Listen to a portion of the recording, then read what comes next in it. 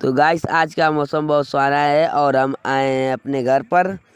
तो यहाँ पर अभी देखिए, यहाँ पर कुछ लड़के हैं, अपने में बात कर रहे हैं। तो अभी हम लोग जाएँगे फिर से वहीं पर।